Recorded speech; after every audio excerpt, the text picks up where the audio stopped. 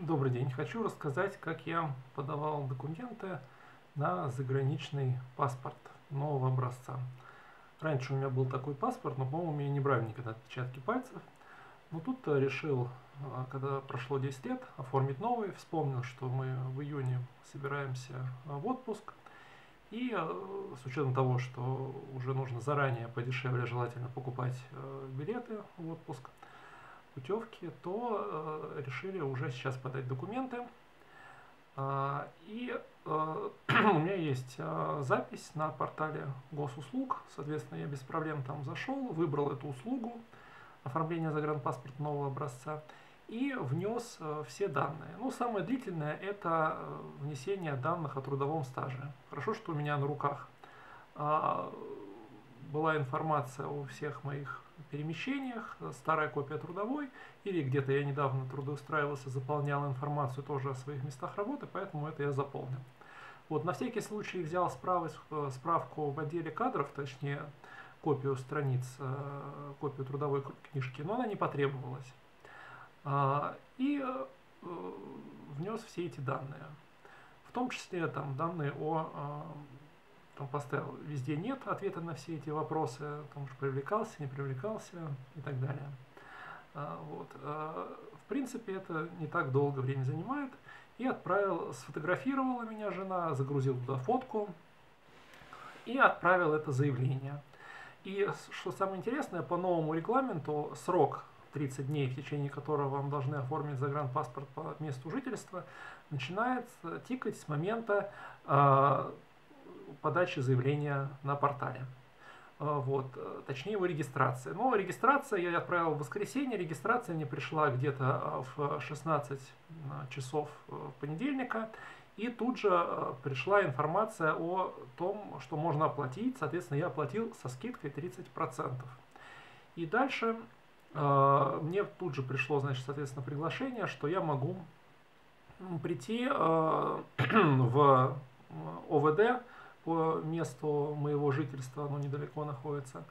Вот, а, но я немножко этот момент пропустил, и поэтому не сразу туда пошел, а только через неделю, вот буквально сегодня пошел, хотя подавал заявление неделю назад. Вот, а, и здесь очередь была передо мной 10 человек, примерно 5 подавать, 5 получать загранпаспорт.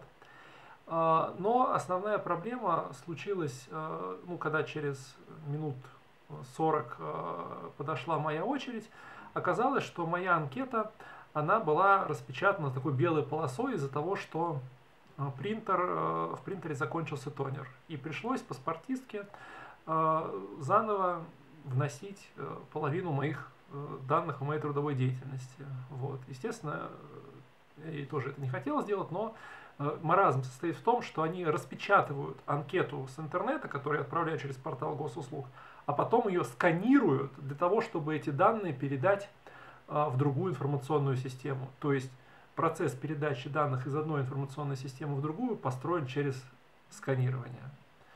Вот, вот такой вот маразм в современном 2020 сказать, году. Вот, э, дальше сняли отпечатки пальцев э, указательного правого левого, сфотографировали, э, на английский язык э, фамилия, имя, отчество переводится у них автоматически, это нельзя никак как редактировать. Вот. Но надеюсь, что вот в процессе этого сканирования там ничего они не потеряли, никакую информацию. И в то, что я неделю им как бы позже, после подачи заявления пришел, хотя там дается 15 дней на это, но рекомендуется вам подавать, ну, идти сразу туда. А, в чем проблема еще? Э, можно ли подать в МФЦ? Да, можно. Но там, э, если по записи это дело, то запись я вот специально проверял. Э, сегодня 10 там, или 9 на 25 ближайшее. Вот, а если на субботу, это вообще будет там 29 то есть 2, там, 3 недели в МФЦ. Вот, поэтому, если вы спешите, то лучше посидите, вот, то есть в моем УВД прием до 8 вечера а, по вторникам и четвергам есть еще две субботы рабочих.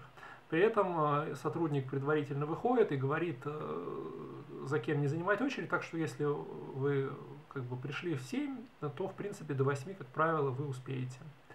Вот, а, поэтому, то есть не будет такой ситуации, ну, по крайней мере, в ВВД или Левобережного района, что вы пришли, посидели там часовой рой и вас в результате не приняли.